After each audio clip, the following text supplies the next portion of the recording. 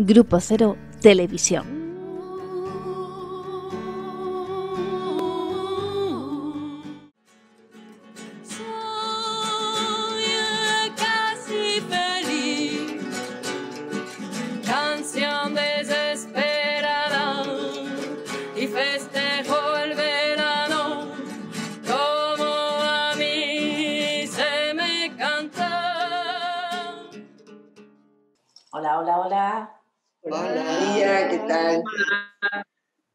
¿Cómo amanecieron en estos últimos días?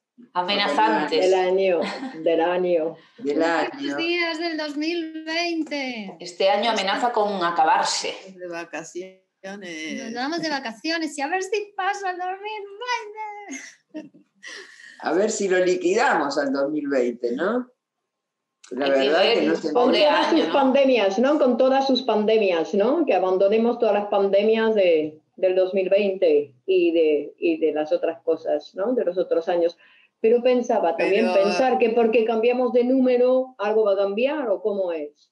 Es que este ha sido un año bisiesto y los años bisiestos son años de catástrofes. ¿Sí? sí, eso dicen. ¿Y cuál fue el año bisiesto? Este, el 2020. Pero el 2016 también sería bisiesto, ¿no? ¿Cuál? El 2016, ¿no es cada cuatro años? Bisiesto. Sí. Pero es como que uno se aferra a que a la superstición, ¿veis? Uno dice, Dios mío, otra superstición, por favor. Estamos en un espacio científico. tenemos con los números? hay cosas, hay cosas que son, se repiten.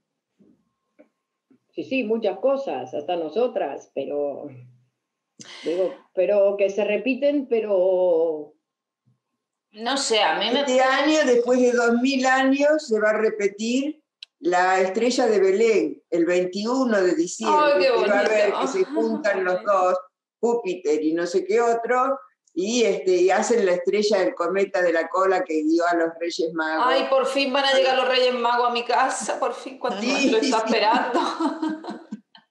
Claro, es una época de expresión de deseos, ¿no? de buenos augurios. La, siempre el punto de fin de año es para reflexionar también. Sí, hay mucha gente que también se pone a temblar, que huye, que interrumpe los tratamientos, que no, ¿no? Que, que, eso de los finales también tiene sus cositas. ¿eh?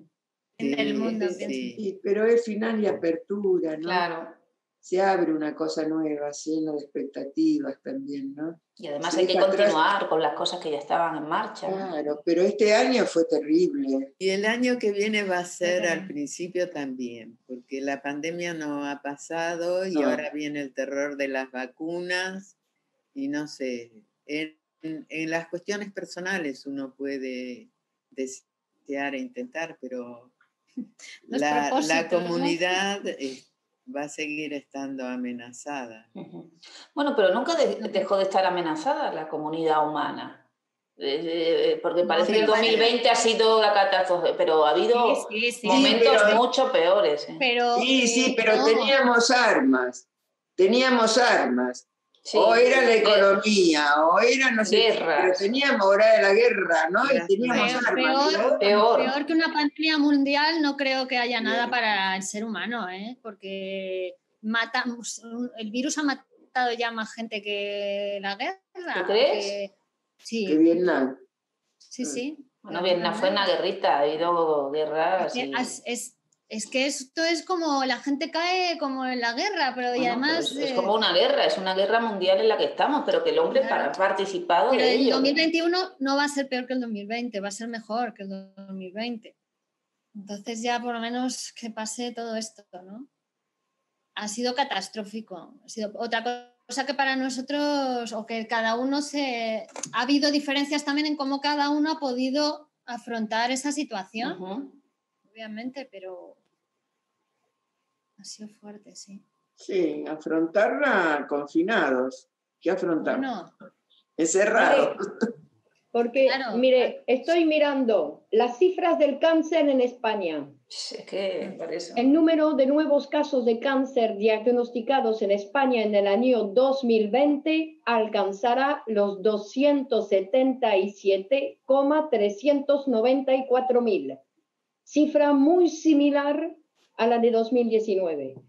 Así que no sé cuál es la pandemia más grave, ¿no? Pero Sí, sí, pero hay, claro, porque es otro, es encima peor, porque la pandemia, que sería la depresión, la melancolía que hay en la población que lleva a ese desarrollo de enfermedades, eh, tienen el instrumento ya para poder curar, para poder curar la depresión, ¿no? Para poder tratar, yo qué sé, para que, porque el psicoanálisis es el instrumento. O sea, peor porque tienen la vacuna. claro, yo, pondría un poco el énfasis, porque tenemos el virus como enemigo, que es evidente que está ahí, pero se pone ahí el énfasis. Pero sin embargo, a mí me parece que es un desvío también para, para esos monopolios económicos que aprovechan toda situación de crisis para crecer como monopolio y para que haya más pobres en el mundo que yo creo que lo que tendría que hacernos es plantear ¿no? ¿Qué, situaciones eh, tenemos ya soluciones y no las ponemos a cabo, ¿no? Por ejemplo, esa que tú dices de la depresión, de la salud mental o de la educación, pero que el hombre no quiere corregirse, que, que, utiliza las crisis para precisamente para eso, para que crezcan las grandes fortunas y para que... Pero eso está programado. Claro, claro. A mí me parece que, que no es tanto el 2020 el virus, que sí, que es terrible, pero lo terrible es el sistema capitalista que tiene, que tiene soluciones y no las quiere usar. En toda crisis siempre se beneficia a alguien. Porque ahora se han perjudicado uno, pero en otras crisis han salido, digo, es que es así. En toda crisis hay unos que se benefician y otros que sí, del Mismo que hay muchos más de los que se benefician. Una catástrofe natural, ¿no? Del mismo modo que una catástrofe natural, pero eso pensar que el virus es una catástrofe natural, no sé. No sé. Bueno, ya claro, si te pones a pensar mal, mal el, no. El otro día, en el sentido de, del mal. Que ya estuvo pronosticado, digamos, no sé. Sí. Pero también hay gente que lleva, porque claro, por ejemplo, Bill Gates, que se dice, ¿no? Si está implicado en un sentido o en otro, porque para algunos es, él es un eh, pronosticador en el sentido de que lleva advirtiendo de hace mucho tiempo eh, de la, del tema de que puede haber un virus, una pandemia a nivel mundial, y otros piensan que ha sido él el que está implicado para beneficiarse económicamente de eso. Entonces es que, pues, a lo mejor son las dos cosas, pero... Bill Gates dice eso. sí. Bill Gates lleva advirtiendo desde hace años de la posibilidad de una pandemia mundial y que tendríamos que prepararnos y tal y cual. Pero después hay otras teorías, que no sé si son conspiranoicas o no, pero que dicen que en Estados Unidos hubo una reunión eh, en, en septiembre del 2019 donde se habló de, se hizo incluso un protocolo de actuación frente a a un coronavirus, a la posibilidad de un coronavirus, pero y que además es el protocolo que se está cumpliendo. Bueno, que no lo están cumpliendo muy bien, porque dime tú los protocolos que hay. un protocolo sí, el protocolo no. No, en el sentido que pretendían alertar, y eso sí que lo... Sí, los medios de comunicación, todo, estaba como protocolizado, no sé. Yo diría que el virus, Pero yo diría que el virus es el hombre. El hombre quiere ser el poseedor de la tierra. Quiere ser, ahora el agua ha salido a bolsa, a ah. futuros. El agua entró en la bolsa. La verdad que somos un virus. Digo, somos un virus el agua, que, el agua, que es un mandato divino, que está para todo el mundo, el agua, ahora cotiza en bolsa. Entonces, Pero lo que pasa es que hay zonas que no tienen agua. Bueno, y no van a tener está tan, tan profundamente que no tienen máquinas de cómo sacarla y hay poblaciones que se mueren por eso. Claro, pero por eso tendría que ser como, tendría que ser un bien de la humanidad. contradicciones. Tesla, el científico, había descubierto, o sea, todo su afán era proveer de energía eléctrica a todo el planeta gratuitamente. Y además él se imaginaba, pues la gente que andaba por el típico planeta futurista que tú te puedes imaginar, ¿no? Con con las máquinas trabajando para las personas. Pues eh, Tesla lo había conseguido y consiguió construir, empezar uno de esos proyectos con la subvención, la financiación de un magnate americano que, todos conocen, conocéis y conocemos. Entonces, el, cuando el magnate descubrió las intenciones verdaderas, rompió toda la torre, rompió todo, pero Tesla eh, fue encontrado, hallado muerto en el hotel donde, eh, donde vivía y todos sus trabajos inéditos, que llevaba toda la obra con él, la tenía, desaparecieron. La, CIA se supone, la policía se lo llevó. Nuestra compañera... ahora se comercia con eso. Ahora hay em, empresas que se están beneficiando económicamente. Nuestra compañera Maribí compartió, creo que es el nuevo presidente de Bolivia, el discurso de su investidura, compartió en Facebook. es muy interesante ese discurso de él que, integra pues, eh, ¿no? todo el saber de los pueblos indígenas y, y claro, cómo el hombre es un depredador ¿no? y, y recoger ese, ese, ese saber ese, ese valor de la naturaleza como madre, ese valor de, de, esa cultura ancestral y ese hermanamiento que, tiene que recoger las diferencias en lugar de la lucha. Claro, era conmovedor eh, escuchar esas palabras en un presidente que, bueno, que recordemos que había habido un golpe de Estado en Bolivia, ¿no? y que han conseguido ese pueblo volver a, elegir a sus representantes democráticamente. Lo que quiero decir es eso, que, que, los, el virus es el hombre. Es el hombre el que pone los obstáculos para convivir con la naturaleza. que no, porque podemos, podemos caer... No hemos hablado de Telsa, que hay hombres, hemos hablado de ese discurso. Digo que hay hombres posicionados para trabajar para el hombre. Sí, pero los matan. La posición los cada uno de nosotros que trabaja en contra del hombre. Claro, es que si caemos en, la, en esa posición también de, de amar más a la naturaleza, a la naturaleza que al hombre, ¿no? O digo, que podemos caer también en una cosa que es al hombre al que tenemos que amar para poder... Claro, pero claro, pero digo que el hombre tiene que entender que, vive en un, en una, ¿no? en un territorio natural, convivir con otras especies, que, es, que es un depredador. No, no es un depredador, es un hombre. No podemos considerar que es un virus, no, no es un virus, es un hombre, una mujer, que, se, que pueden ser un hombre y una mujer tienen esa posibilidad, pero hay que hacer un trabajo, claro, siempre.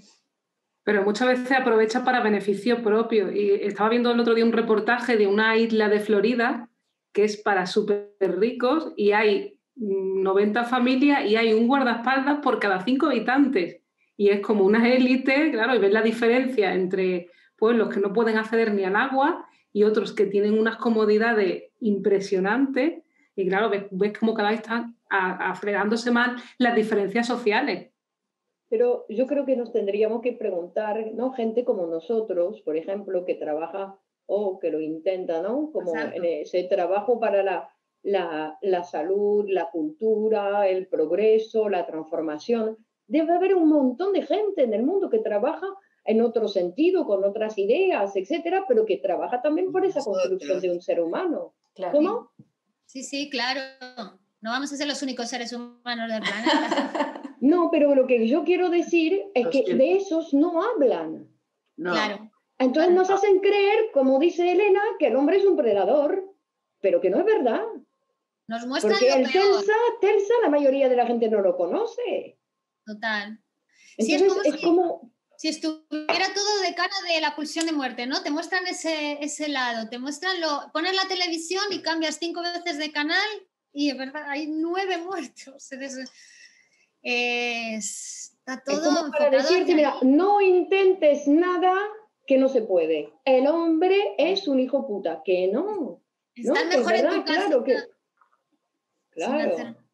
Bueno, está toda la ciencia adelantada, ¿no? Están todos los científicos trabajando para el bien de la humanidad. Pero claro, después le recortan el presupuesto, cierran los centros de investigación. Bueno, o le dicen lo que tiene que pensar y lo que lo tienes que estudiar, que lo que descubren, si no conviene, lo esconden. Pero igual, seguro que hay otro que sigue, ¿no? Hay gente, mucha gente que, que sigue trabajando más allá de... Bueno, Freud siguió trabajando a pesar de que le daban golpes por todos lados. con que haya uno que nombre el significante, ¿no? Me recordaron a Sánchez. Claro. Que sigue encerrado. A que sigue muerto en vida. Que no es que te quite la subvención, que a veces es que te, quitan la vida. la vida. Y a mí se me cruzó Einstein con el invento de la energía atómica, que la usaba, él la quería para el bien y la usaron para la destrucción, ¿no? La energía eso, hay, eso hay polémicas. aparatos electrodomésticos, ¿no? Todo avanzó con el átomo pero, viste, le capturaron el proyecto, hicieron la bomba para la destrucción. Y era un científico que trabajaba, las cartas, lean las cartas que le escribe Einstein a Freud, ¿no? Diciéndole cómo es que, ¿no? Que van a usar eso en contra de la humanidad. Bueno que la destrucción, claro, es, mm, es, necesaria, es necesaria la destrucción también. En la ciencia, por ejemplo, hay un montón de destrucción en el sentido de separar, aislar cada vez más las unidades para poder investigarlas, ¿no? Hemos llegado ya a las micropartículas, al átomo, al protón, al neutrón, cada vez todo más fragmentado. Pero claro, pero es diferente fragmentado que destruido, ¿no? Pero también es la, pulsión de muerte. Lo que pasa que pues sublimada, claro, sublimada en la ciencia, no está puesta en la destrucción del otro. Claro, ¿no? Podría usarse la para combatir el cáncer, por ejemplo. ¿Por qué, no, ¿Por qué no combaten con, tanta, con tantos avances? ¿Por qué no combaten el cáncer? ¿Será una cuestión del mercado? ¿Tendrán la solución y no la quieren aplicar? ¿Cómo es? Porque parece una ridiculez con tanto invento, tanta cosa y el cáncer no pudieron hasta ahora. Pudieron con el SIDA. No, porque piensan que es solo biológico, no consideran lo psíquico. y es que el cáncer es el psíquico tiene un carácter fundamental en la producción de la enfermedad. Entonces, hasta que no vean cómo está implicado el sujeto psíquico en eso, no... Lo, curan biológicamente, pero es que el sujeto psíquico, o sea, es el psiquismo. Sí, si no cambia nada, vuelve a repetir. No cambia nada de su vida. Claro. Es que no, lo, todavía lo inconsciente no, eso es no, No lo tienen sumado. O sea, ya está como significante, o sea, ya está como ciencia y está produciendo transformaciones, ¿no? A nosotros nos lleva a Claro, claro, claro. bueno, va avanza, eh, avanza, el psicoanálisis avanza, sigue avanzando, avanzando. Y, pero también las resistencias. Pero aún así da igual, ya está produciendo. Por ejemplo, la marea, yo que sé, las redes sociales, ¿no? Que hay con el psicoanálisis. Es, que nunca es el bien total ni el mal total, que siempre hay como una lucha entre el bien y el mal. Y, digo que lo que pasa es que también uno puede caer en, no hay solución y dejarse vencer, ¿no? Mm. Porque, sí, después Pero me parece que el mal es lo mismo que para otros. ¿Cómo? Que para el bien no es igual para todos, que según la ideología que tenga, pues nos creemos Dios, por, por ser uno, hace el bien, aunque esté matando. Mata en favor de... Es bien. O de, yo qué sé, de otros. De la paz, ¿no? De la, paz. Como la Inquisición. ¿Qué dijiste, Laura? Como la Inquisición. La Inquisición. Ah, el bien se transformó en mal, ¿no? Los tiranos del bien. Claro, porque más bien Freud dice que se separan las pulsiones. A lo mejor eso es, por eso hay grupos que se dedican como a hacer el bien, aunque luego, digo, es imposible eh, que sea el bien total o el mal total, pero sí que parece que hubiera, se diferencian socialmente eh, grupos más destructivos, ¿no? Que su misión es más dividir. Hay, hay, ideologías que no tienen en, que son como fuera, digo, como que no tienen en cuenta nada, nada más que el dinero, o que no tienen en cuenta nada, nada más, digo, que, que hay ideologías muy dañinas. que además la gente eh, que, que, está en esas ideologías es que se lo crea bien puntillas y no piensa, no piensa absolutamente nada. Entonces... Por, por ejemplo, con lo del coronavirus, ¿no? Porque hay muchos científicos que se han puesto de acuerdo para un bien común para la humanidad. Pero luego, ¿quién se beneficia de, esas vacunas? Porque no son gratuitas, ¿no? Están, eh, hay, mm, hay farmacéuticas detrás, laboratorios que, claro, que se van a beneficiar de, ese trabajo. Y, vamos, y, multimillonarios, ¿no? Porque ya sus acciones están creciendo en bolsa una barbaridad. Entonces. ¿Cuál es el.? Hay alguien que he visto que dice que se ha puesto la vacuna del Sputnik 5 o algo así, ¿no? De, la vacuna rusa. Eh, Alberto Fernández, ¿no?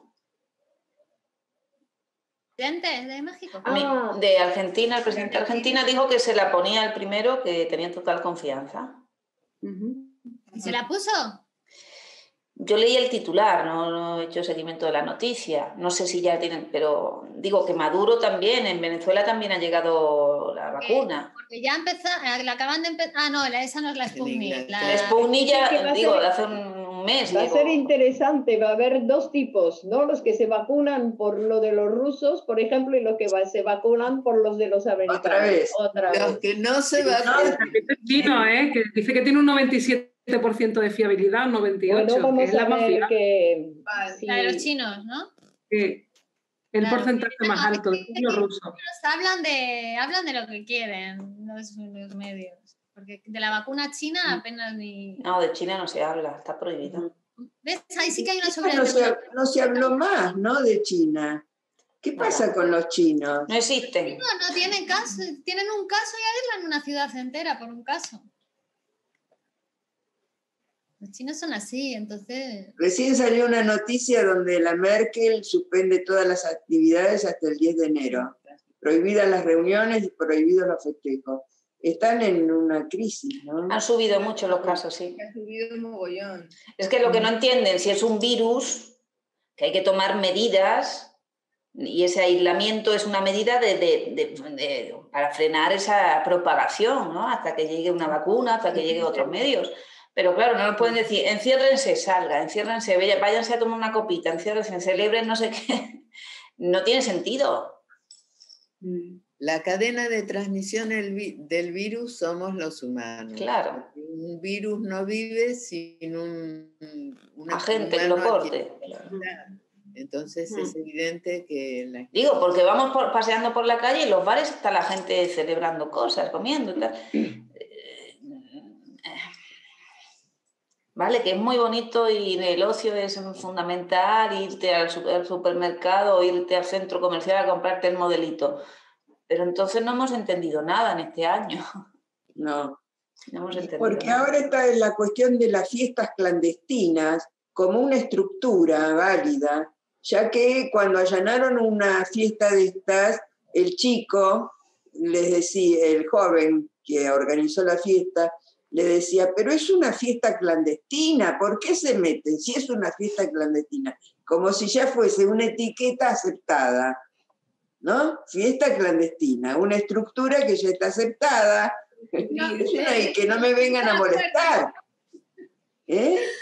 ¿Qué? Que tienen ese pacto ya, ¿no? Esto es una fiesta, una fiesta clandestina, no la tenéis que descubrir. No, no tienen que molestarme. Qué fuerte. No sé. Ahora están saliendo anuncios que de una fiesta clandestina y ponen al lado mi amigo está en la UCI con entubado. Muere un abuelo. Sí. Claro, no, hay poca sensibilidad. Pero tiene que ver lo que decía Virginia también antes, ¿no? Nos han insensibilizado. A través de muchos años en la televisión, toda la información de los medios, las películas y tal, todo era muertes, guerras, catástrofes. Lo normal es eso. Entonces, Ahora no es creíble las catástrofes que pasan, es creíble cuando te pasan muy cerquita y luego se te olvida. Además es como si nos hubieran desensibilizado con respecto a lo humano y sensibilizado, porque claro, el hombre tampoco puede perder su sensibilidad. Ahora es sensible de, de, acercarse a otro humano para relacionarse, para estudiar, para amar. Ahora nadie tolera a nadie. Claro. Todo el mundo prefiere estar aislado, hablar por mensajitos. Con perdón para los amantes de los animales, pero para. ¿no? Hay una exageración, ¿no? Está muy intensificado ese. Sustituyen a los hijos por los perritos. El otro día vi un Doberman, el otro día vi un Doberman con una sudadera. Yo dije, ¿pero esto qué es? bueno. Era exagerado. De un Doberman, un perro de todo fuerte con una sudadera rosa. De verdad que me reíamos.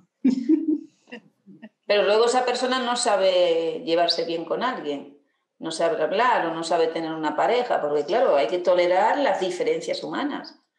Entonces, claro, nos olvidamos de todas esas personas que mueren o, de todos esos enfermeros o médicos que nos dicen estamos desesperados. Más fácil tolerar la diferencia con un animal que con otro ser humano, ¿no? El bueno, animal, el animal no habla. claro. Esto porque no te contesta. Y dice, más fácil. Esto es claro.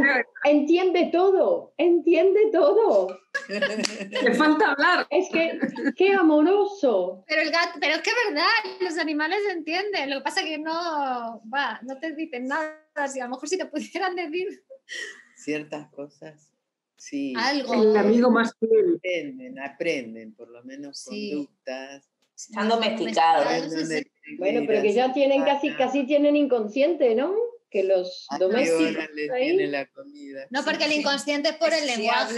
si hablasen, pero no hablan. Claro, pero que dice, ¿no? Que tiene el inconsciente del dueño.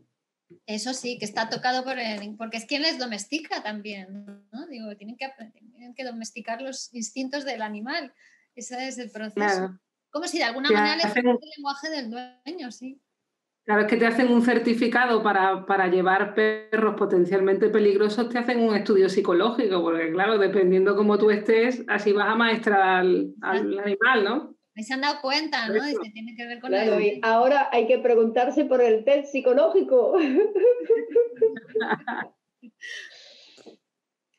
Por lo menos le dicen, mira, no, no, pasa porque es un peligro, ¿no? No puedes tener un animal. Un arma, ¿no? También un animal si quieres tener un perro. Somos raritos, ¿no? ¿Eh? Que somos raritos. Es que somos Mira, poco a poco va bien, Elena. De virus pasó a rarito. Muy bien, Elena, muy bien. Ya voy mejorando. muy bien. No, lo que pasa que ya es que el siglo en el que estamos, con los avances científicos que hay, eh, los psíquicos, es que, es que todavía parece que eh, parecemos raros por hablar de lo psíquico, cuando lo psíquico es que es, es que la palabra psíquico no Es que todavía no se conoce lo que es. Se confunde con espiritual, con alma, con Dios, con... Debe haber una palabra más fácil incluso para decirlo, para que, que, que todo el mundo entiende. Pero psíquico también está muy relacionado con locura, con y además, psíquico también te puede tocar, digo, porque lo biológico es algo como extraño que, bueno, te puedes enfermar, pero es más habitual, pero lo psíquico... Micrófono. Claro, lo psíquico es... Me va a tocar algo y me va a cambiar algo, me va a modificar algo. Y... Claro, porque en el fondo es una solución que no ha adoptado, ¿no? Mejor no hablo mucho. Habla de tu deseo, lo psíquico. Y eso es de mi deseo como yo. Sí, no hablo mucho a ver si me equivoco y me descubren, ¿no? Porque es eso lo que pasa con el lenguaje. Leemos los errores, los traspiés. Entonces, mejor la boca callada, no hablar para no tropezar. No tropezar y caerse y volverse a levantar es el asunto, ¿no? Claro, esa es la manera que uno no se dé cuenta, esa es la manera. Claro, también, y si no aceptas el error, repites y repites y repites. Si no aceptas y cambias, repites toda la Rectificas un poquito, ¿no? Claro. rectificar un poquito en eso. Y ya no te chocas por contra la pared, ¿no? Es ir un poquito al lado y ya pasa bien. Bueno, así que estamos en un final que es un comienzo. ¿Tenemos planes para la temporada siguiente? Sí, vamos a continuar. Vamos a continuar. Es un descanso, son unas pequeñas vacaciones para las trabajadoras que también necesitan pues, descansar un poco, pero vamos a seguir igual o mejor. Sí, a lo mejor en el 2021 tenemos ya esa lluvia de estrellas, ese programa musical semanal. Ay, sí, sí. Ah, lluvia de estrellas. por eso pusieron las lamparitas ahí atrás. Claro. Para que sea una. Ah, ahí las estrellitas. Lluvia de estrellas, qué lindo título, me encantó. Había programa Había Un programa. Sí, sí. Lo dirigía Bertino Borne, me parece. Oh, Elena. y, adaptamos un poquito. Lo adaptamos, lo adaptamos.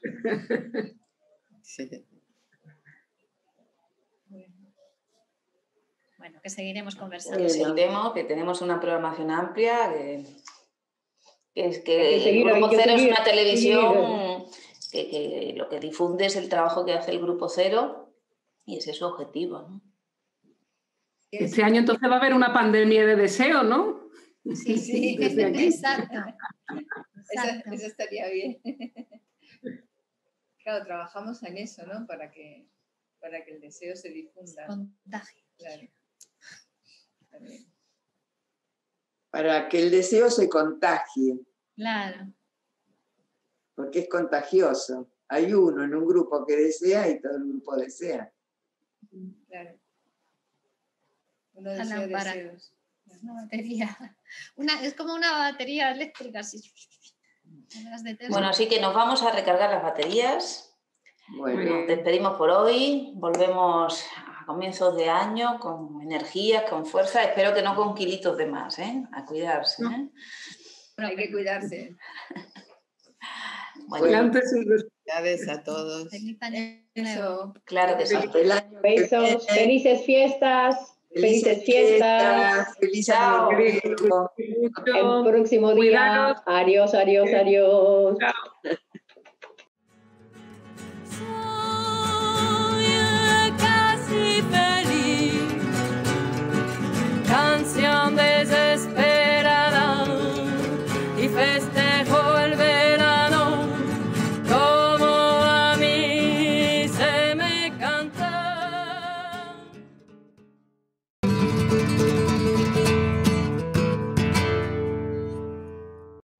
¿Sabías que para psicoanalizarse no hace falta estar enfermo?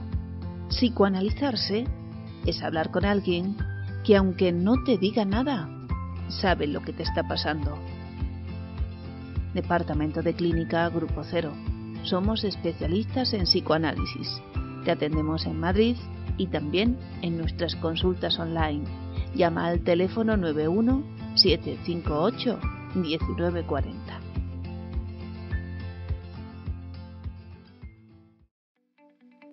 Pintando en casa. Un espacio de creación, conversaciones, música, actualidad, poesía y mucho más. Con Miguel Oscar Menasa. En Grupo Cero Televisión.